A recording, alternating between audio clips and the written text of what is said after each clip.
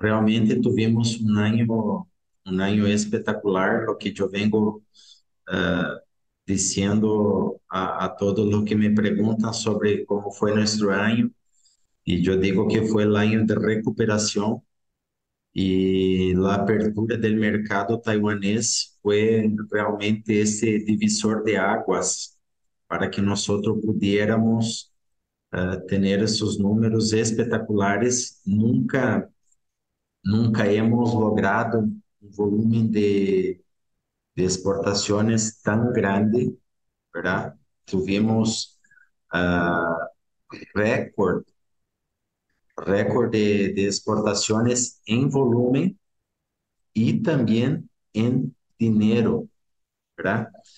Uh, en volumen alcanzamos más de uh, 8 mil toneladas de, de carne exportada uh, y este es un número realmente histórico, ¿verdad? Nunca habíamos superado las 5.300, 5.500 toneladas y este año logramos uh, todo esto. Y, y, en dinero también uh, logramos uh, superar los 18 millones de, de, dólares en exportaciones, cuando ya habíamos alcanzado, creo que máximo 14, si no me estoy equivocado. Entonces, es algo que realmente eh, estamos celebrando. el productor uh, volvió a sonreír y, y, ahora en este momento tenemos un resultado positivo en las fincas y podemos animarnos a dar seguimiento a nuestras actividades, a, a proyectos que estaban en el tintero y que posiblemente ahora vuelven a, a ser repensados en reactivar uh, os projetos de crescimento, ou os projetos que, que estavam em stand-by, vuelven a, a haver ânimo para poder ser uh, ativados novamente. E esta apertura do mercado de Taiwan realmente é o que hizo toda a diferença.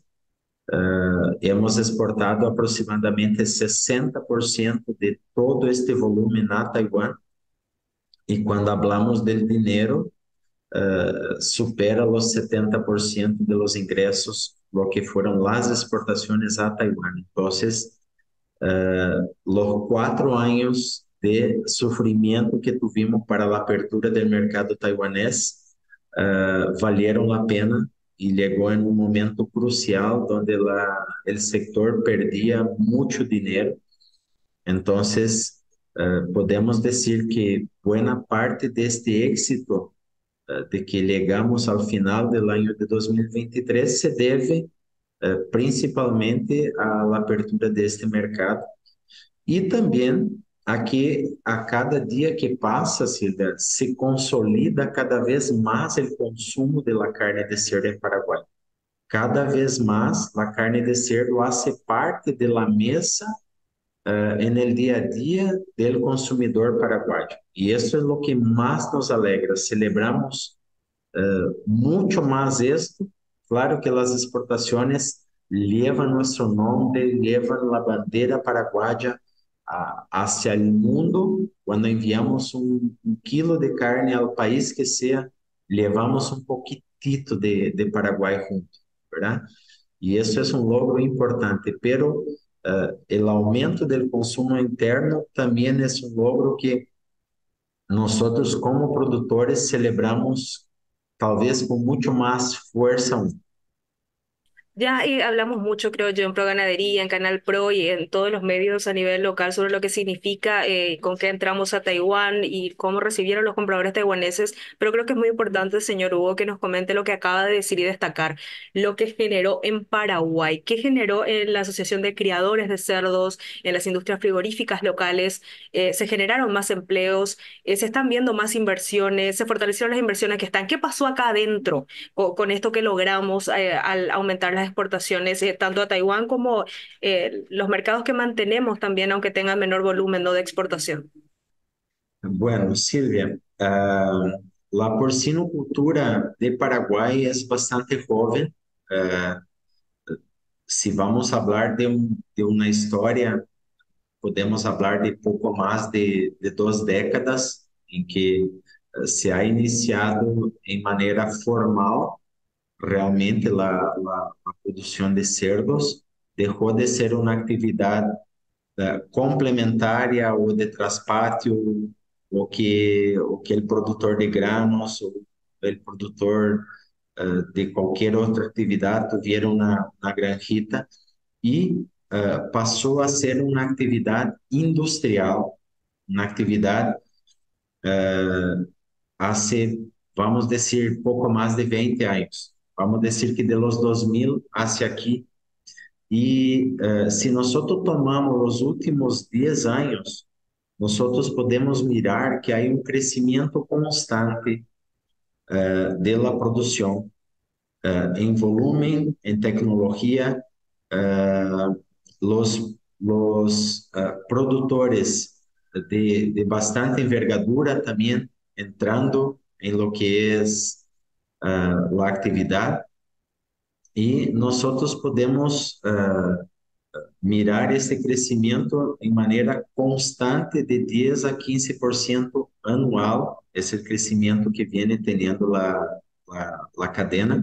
Claro que tuvo um pouco de freno neste ano de pandemia, esses um ano, dois de pandemia, tuvimos, tuvimos essa crise muito grande no setor, que isso com que muitas granjas pequenas cerraram, pero haviam grandes projetos, Silvia, que já estavam em marcha. Então, esses projetos talvez perderam um pouco de velocidade, pero se mantiveram e uh, chegamos em 2023 com esses projetos explotando uh, e em 2024 se conclui, hablo principalmente do projeto de cooperativa Colônias Unidas, e então seguimos crescendo como setor. Há vários projetos, há, há, há vários atores da cadeia que estão trabalhando em projetos de ampliação.